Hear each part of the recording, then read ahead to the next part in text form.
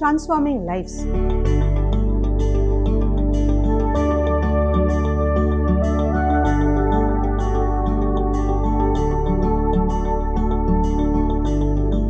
வாழ்க்கையை சரியாக இணைக்கும் அளவுகோலை பற்றி நம்ம பேசுகிறோம் வாங்க. தோல்வி.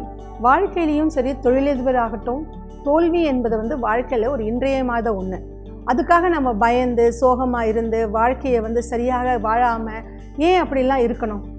தேவையே இல்லை. ஏன்னா தோல்வியையும் ஒரு அங்கமாக நாம் எடுத்துக்கணும். வாழ்க்கையிலையும் சரி பிஸ்னஸ்லேயும் சரி தோல்வி என்பதையும் நாம் ஒரு அங்கமாக எடுத்துக்கணும். எஸ்பெஷலி இப்போ நம்ம வந்து கோவிட் காலத்தை முடிஞ்சு இன்றைக்கி தான் திருப்பி நாம் வந்து உலகத்தை பார்க்குறோம். இந்த உலகத்தை பார்க்குற பார்வையே இன்றைக்கி எல்லாருடைய பார்வையும் வேறு மாதிரியாக இருக்குது ஏன்னா இதுக்கு முன்னாடி கோவிடுக்கு முன்னாடி நாம் எல்லாருமே தலை தெறிக்க நமக்கு என்ன தோணுதோ அதை செஞ்சுட்டு இருந்தோம் ஆனால் இந்த கோவிட்ன்றது என்ன பண்ணிடுச்சுன்னா எல்லாரையுமே வந்து ஒரு நிலையான ஒரு நிலைக்கு கொண்டு வந்து நிறுத்திடுச்சு. இன்னைக்கு திருப்பி வியாபாரம் செய்கிறவங்களும் சரி வாழ்க்கையில் இழந்தவர்கள் திருப்பி தான் முன்னேறணும்னு நினைக்கிறவங்க கூட ரொம்ப நிறைய யோசித்து நிதானமாக எவ்வளோ தூரத்துக்கு நம்மளால் உயரமாக ஏற முடியும்னு பார்த்து ஏறுறாங்க.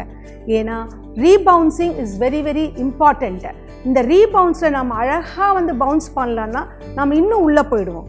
இந்த ரெண்டு வருஷ காலமாக நமக்கு வந்து என்ன ஆயிடுச்சுன்னா எல்லாருடைய வியாபாரமும் எவ்வளோ தூரம் பெருசாக இருந்தாலும் சரி அது மறுபடியும் கொஞ்சம் இறங்கிட்டே இருந்தது. அப்படி இருக்கும்போது நம்ம எவ்வளோ தூரத்துக்கு ஆழத்துக்கு உள்ளே போகிறோமோ அவ்வளோ தூரத்துக்கு வேகமாக எலாஸ்டிசிட்டியோடு நம்ம வெளியில் வரணும்.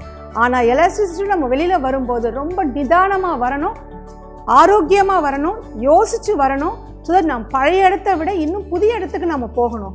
இப்படி நாம் செய்யணும் அப்படின்னும் போது தோல்வியை நாம் வந்து ஒரு வாழ்க்கையின் ஒரு அங்கமாக ஜஸ்ட் கேஷுவலி எடுத்துக்கணும். ஆனால் அது நான் சொல்கிறது ரொம்ப ஈஸியாக இருக்கலாம். ஆனால் உங்களுக்கு அது கஷ்டமாக இருக்கும். கஷ்டமாக இருந்தாலும் சரி அப்படித்தான் அணுகுமுறையை நம்ம வச்சுக்கணும். அப்படி அணுகுமுறை வைத்தாலே ஒழிய நம்மளால் வந்து எதையுமே பண்ண முடியாது. நம்மளை வந்து முன்னிறுத்தி கொள்ள முடியாது. ஏன்னா நாம் எல்லாருமே வந்து ஒரு சக்ஸஸை பார்த்தவங்க தான். அப்படி இருக்கும்போது நடுவில் தான் கிராஃப் கீழே வந்திருக்கு. அதனால நினைக்கும் போது எண்ணங்களை நாம் கோவிடுக்கு முன்னாடி எப்படி இருந்தோ நம்ம எண்ணங்களை வச்சுக்கோங்க. இப்போ நாம் திருப்பி வந்து மேலே வரணுன்றத எண்ணங்களை வச்சுக்கோங்க.